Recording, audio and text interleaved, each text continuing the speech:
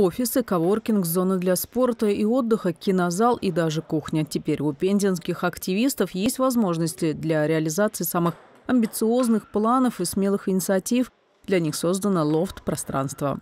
Это будет площадка для всей молодежи Пензенской области, которая будет объединять формальную и неформальную молодежь для того, чтобы мы вместе могли создавать будущее региона. Ремонт на площади в 750 квадратных метров начался в сентябре прошлого года. И вот мансардный этаж осматривает высокие гости.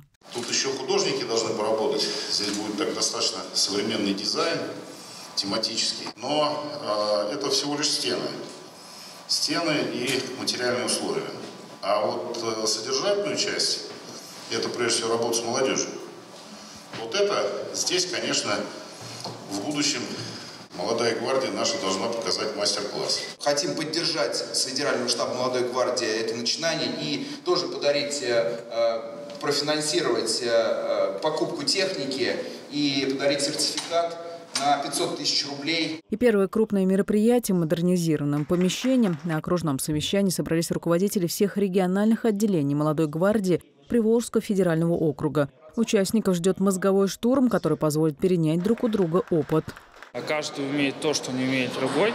А есть какие-то большие федеральные проекты, которые мы реализовываем совместно.